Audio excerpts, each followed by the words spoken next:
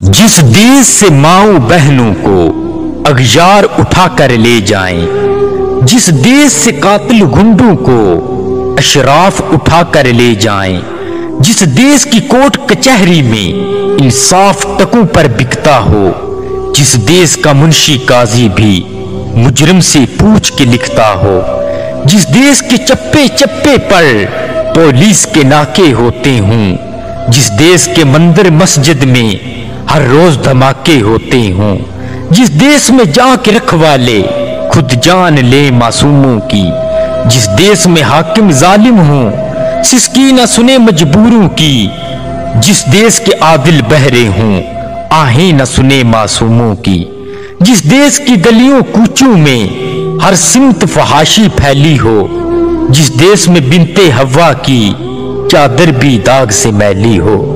जिस देश में आटे चीनी का बोहरान फलक तक जा पहुँचे, जिस देश में बिजली पानी का फुकदान हलक तक जा पहुँचे, जिस देश के हर चौराहे पर दो चार भिखारी फिरते हों, जिस देश में रोज जहाजों से अमदादी थैले गिरते हों, जिस देश में गुर्बत माओ से बच्चे नीलाम करवाती हो, जिस देश में गुदौलत शुरफा से नाजायज काम कराती हो।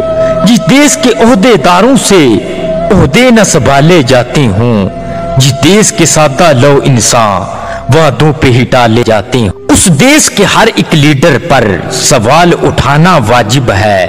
उस देश के हर एक हाकिम को सूली पे चढ़ाना वाजिब है। उस देश के हर एक हाकिम को सूली पे चढ़ाना वाजिब है।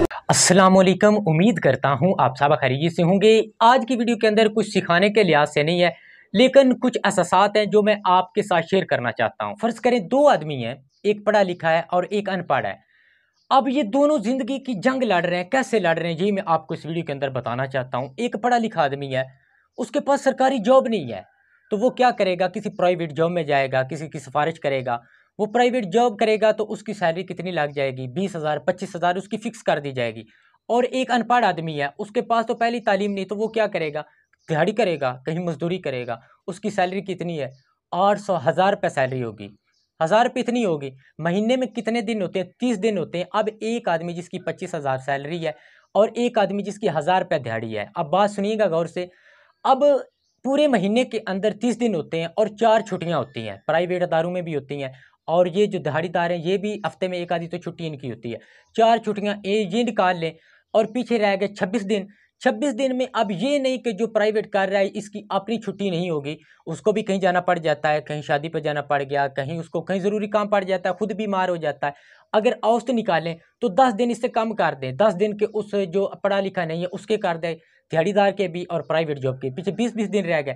औसत निकाली जाए, एक की बीस हज़ार सैलरी है और एक की सोलह हज़ार कर ले। पच्चीस हज़ार वाले की सोलह, सतारह हज़ार। इतनी औसत निकालें। अब इन दोनों की बहुत बड़ी लंबी सोच होती है। अपनी पेमेंट को वो देखते हैं कि आएगी। इसके अंदर हम अपनी ज़रूरियाती ज़िंदगी पूरी करेंगे। अच्छी खुराक बच्चों को खिलाएँगे, अच्छे कपड़े ले के देंगे, लेकिन वो नहीं कर पाते। उसकी वजह क्या है? इसके ऊपर भी उनके ऊपर बहुत बड़ी ज़िम्मेदारी ऐद होती है। बिजली के बिल जो छः छः सात सात हज़ार होते हैं वो अदा करने पड़ते हैं। मकान का किराया अदा करना पड़ता है, गैस के बिल अदा करने पड़ते हैं। घर में जो खाने, पीने की अशियाँ वो इतनी महँगी हो चुकी हैं। मैं आपको बताऊँ कि मैं एक दुकानदार भी हूँ। मुझे पता है, आज से दो, तीन साल पहले जो दस रुपए के चार शैम्पू लेब बॉय के आया करते थे। अब कितने कितने हो गए थे? फिर तीन हो गए, फिर दो हो गए। अब कितने, दो में से भी मिज़ान कम हो गया। चीज़ों के रेट दिन ब दिन बढ़ते जा रहे हैं और महँगाई होती जा रही है। और जो सैलरी वो फिक्स है, हज़ार रुपये और पच्चीस हज़ार रुपये अगर पच्चीस हज़ार तनख्वाह बढ़ेगी महीने में, कितनी बढ़ जाएगी? दो तीन सौ रुपये बढ़ेगी। ये तो नहीं को दो तीन हज़ार रुपये किसी की, मैंने तो बढ़ती नहीं देखी। लेकिन अगर दो तीन सौ बढ़ेगी, हर चीज़ के अंदर अगर रेट देखा जाए, घी का देखा जाए तो वो डेढ़ सौ रुपये बढ़ जाता है। अगर तेल देखा जाए तो ये आपके सामने ढाई सौ से तीन सौ के करीब जा पहुँचा है। कपड़ा इतना महँगा हो गया है, खाने पीने की शिजा महँगी होगी। तो वो क्या करेगा? बीवी की अलग ख्वाहिशात होती हैं। अगर वो बीवी की ख्वाहिशात को देखे तो वो नहीं पूरा कर सकता, वो कैसे पूरा करेगा? सोलह हज़ार, बीस हज़ार में ख्वाहिशातें पूरी की होती हैं सारी बात है। वो जब बीवी की ख्वाहिशात देखता है तो फिर लड़ाई झगड़ा शुरू हो जाता है। लड़ाई झगड़ा जब घर में शुरू होता है तो वो कर्ज लेता है।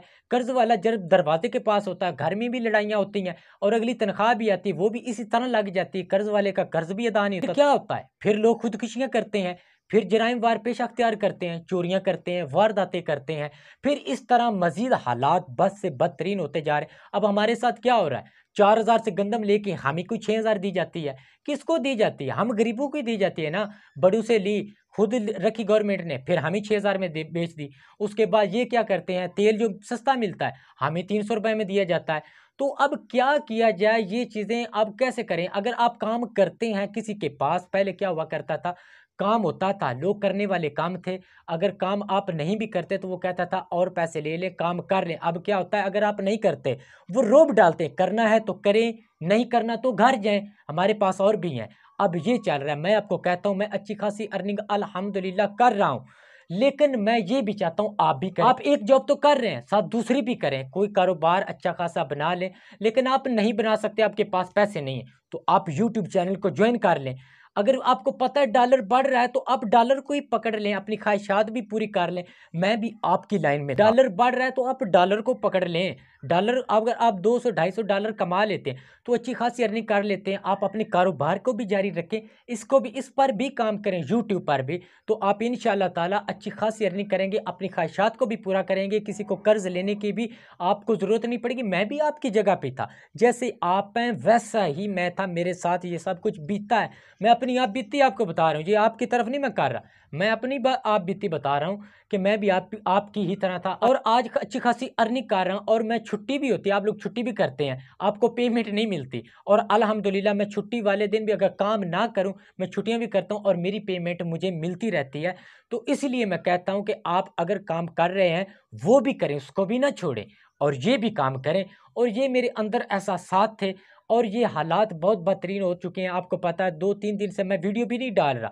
मैंने वीडियो भी नहीं डाली, नेट ऑफ़ है, हालात आपके सामने हैं तो मैं कैसे काम कर? अगर आपको नहीं पता कि यूट्यूब क्या चीज़ है यूट्यूब पर कैसे काम करना है यूट्यूब पर चैनल कैसे बनाना है तो मेरे चैनल को ओपन करें, लिखें टेक्निकल एच एफ़ डी, यही मेरा चैनल है जिस पर वीडियो है।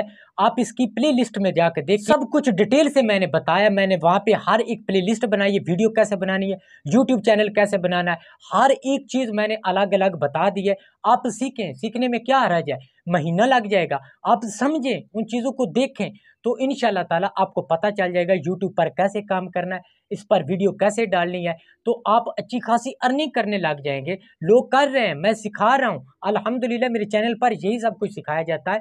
आप ज्वाइन करें आप एक एक चीज़ को देखें कि मैं कैसे समझा रहा हूँ, कैसे कर रहा हूँ, आपका माइंड बनेगा। फिर आप काम करेंगे, आपके पास मोबाइल है तो आप अपना टाइम ना ज़ाया करें। आप वो भी काम करें जो कर रहे हैं। रात को बैठ के एक वीडियो बना लिया करें, उसको अपलोड कर लिया करें और इन ताला आप कामयाब हो जाएँगे। उम्मीद है मेरी वीडियो आपको अच्छी लगी होगी। नेक्स्ट वीडियो के साथ आपका भाई फिर हाजिर होगा। मुझे दीजिए इजाज़त, अल्लाह